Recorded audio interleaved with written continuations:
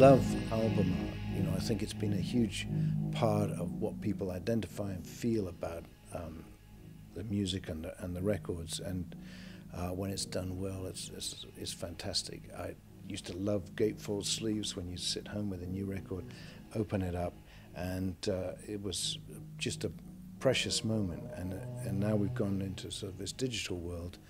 Um, a lot of that has been lost, and we've been talking um, about trying to get some nice quality prints of, of the artwork for a long time, and uh, now, fortunately, with our friend Andy Wood, it's actually all happened, um, and so they are going to be made available on the site very soon. Um, I'd forgotten some of the images and some of the work that went into it, but uh, there's a lot of great people and um, uh, I think cool ideas that have gone into some of these album sleeves. The album cover was done with Hipgnosis, who I worked with a little bit at the end of Genesis period, Storm and Peter particularly. And I think they are, are um, very important in, in the way that album sleeves have developed over the years. This was actually his car that I was sitting in on the front cover, and I liked the idea of the, uh, the water and the sort of black and white and blue color. One idea I'd had for that first cover too was to do mirrored contact lenses, and it took me about a month to find someone who would manufacture mirrored contact lenses. But they made me sign something that if I damaged my eye, they wouldn't take any responsibility. They were very painful to wear, but the um, effect was fantastic. It was like having steel balls for eyes.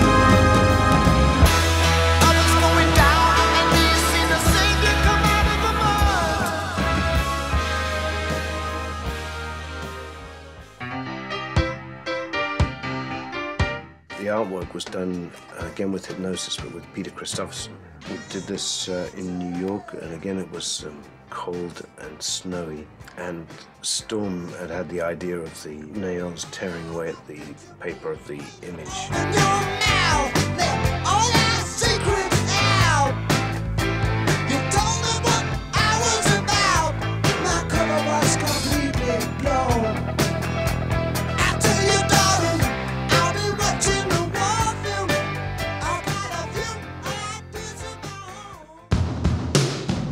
Album three, we did the sleeve with uh, Storm again at Hipgnosis, and uh, he introduced me to these things called charismagraphs, I think. But there was a photographer called Les Krims who discovered that if you take a Polaroid and you squash it, you can get the colors to run. We used to go after different objects and burnt matches and coins and fingers and all sorts of things. And it was was a lot of fun because you had to get the timing right, but you got some wonderful effects out of the distortion.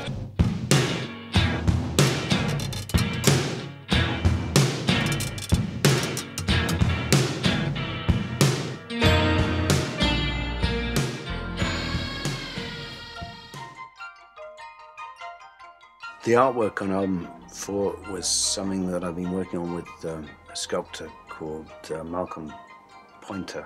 Uh, it was work I thought was really strong. He used to do these things out of um, very dark heads. There was a book I'd seen too on distortions, a little, little like fairground mirrors, and we started using that with some Melinex, which is a sort of bendy mirror.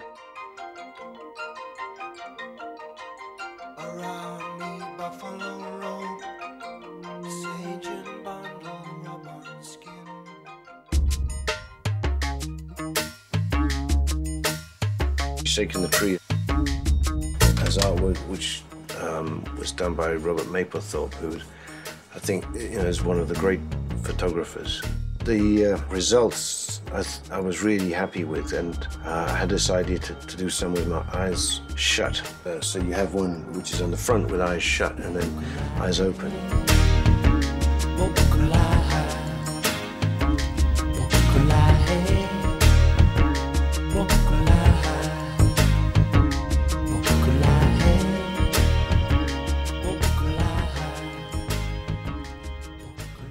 it made me happy to walk around the room and uh, see all these things laying out on the floor.